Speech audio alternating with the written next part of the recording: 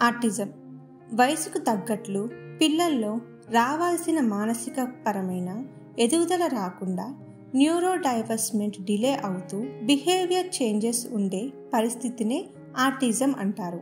Autism అందరి పిల్లల్లో ప్రభావం ఉండకపోవచ్చు. కొంతమంది పిల్లల్లో సామాజిక స్పృహ లర్నింగ్ స్కిల్స్ లేదా కమ్యూనికేషన్ ప్రాబ్లమ్స్ లాంటి సమస్యల్ని ఎక్కువగా కలిగి ఉంటారు. వారికి రోజువారి పనులలో సహాయం అవసరం కావచ్చు. కొన్ని సందర్భాల్లో ఒంటరిగా జీవించలేరు. ఇలాంటి లక్షణాలు ఉంటే దీనిని లో ఫంక్షనింగ్ ఆర్టిజం అని పిలుస్తారు.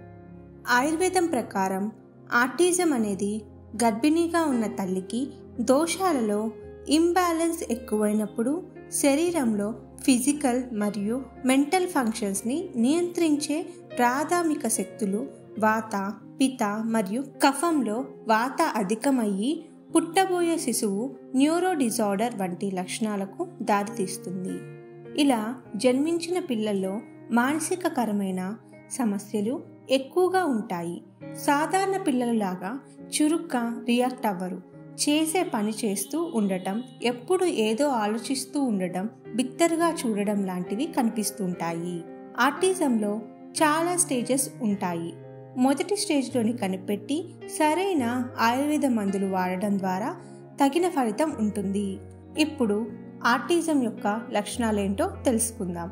డైరెక్ట్ ఐ కాంటాక్ట్ ఇవ్వకపోవడం సోషల్ ఇంటరాక్షన్ లేకపోవడం మాటలు రాకపోవటం రిపీటెడ్గా ఒకటే పని చేయడం నవ్వకపోవటం ఒంటరిగా ఉండడం భావాలు మాటల్లో చెప్పలేకపోయి యాక్షన్ ద్వారా చూపించడం చేసే పని మళ్ళీ మళ్ళీ చేయడం లాంటి సామాజిక లోపాలు కనిపిస్తుంటాయి. చిన్నపిల్లల్లో మానసిక పరమైన ఇబ్బందులు కలగకుండా ఉండటానికి సరైన పౌష్టికాహారం తినిపించడం చాలా ముఖ్యం. పౌష్టిక విలువలు ఎక్కువగా ఉన్న ఆహారం ఏంటో తెలుసుకుందాం. సీ ఫుడ్ నాటుకోడి broccoli almond milk millet beans mushrooms ఆకుకూరలు vegetables eggs green peas sweet potatoes coconut water spinach oatmeal fruits and dry fruits. తీసుకోకూడని ఆహారం. Wheat barley milk cheese soya products cool drinks sweets food colours. ఇలాంటి ఆహారపు అలవాట్లకి దూరంగా ఉంచడం మంచిది. ఎన్నో వేల సంవత్సరాలుగా ఆయుర్వేదం ఎన్నో మానసిక రోగాలను నయం చేయడంలో సహాయపడుతుంది.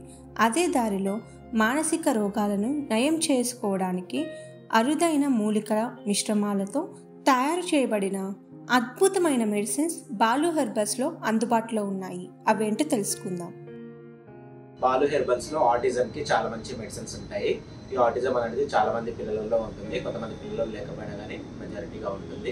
ఈ ఆటిజం కి బాలు హెర్బల్స్ మెడిసిన్స్ వచ్చేసి బేశక్తి అనే సిరప్ ఉంటుంది అండ్ సరస్వతి లేహం ఉంటుంది. వీటితో పాటు బ్రహ్మి అనే టాబ్లెట్ ఉంటుంది. అంటే ఆటిజం అనేది కొంతమంది పిల్లలు చాలా హెవీగా ఉంటుంది అనమాట దానికోసం ఈ స్వర్ణ పుష్పం కాంబినేషన్తో ట్యాబ్లెట్స్ టాబ్లెట్స్ వాడాల్సి ఉంటుంది. ఈ బిశక్తి సిరప్ వచ్చేసి ఏంటంటే ఇందులో మన బ్రెయిన్కి సంబంధించి బ్రహ్మి శంఖపుష్పితో పాటు ఇంకా ద్రాక్ష కానీ అశ్వగంధ కానీ సాఫ్రాని కానీ తులసి కానీ గిల్లో కానీ ఇలా కొన్ని హెల్ప్స్ అనేవి మిక్స్ అయి ఉంటుంది. ఈ సిరప్ వాళ్ళు తీసుకోవడం వల్ల ఏమవుతుందంటే వాళ్ళకి ఫిజికల్లీ మెంటల్లీ స్ట్రాంగ్గా ఉండడానికి హెల్ప్ అవుతుంది. ఏ విధంగా అంటే వాళ్ళ పిల్లలకు కావాల్సిన విటమిన్స్ కానీ మినరల్స్ కానీ ప్రోటీన్స్ కానీ అన్నీ ఈ సిరప్ అనేది అందిస్తుంది. అండ్ ఫిజికల్లీ మెంటల్లీ చాలా స్ట్రాంగ్గా ఉండడానికి వాళ్ళకి చాలా బాగా హెల్ప్ అవుతుంది.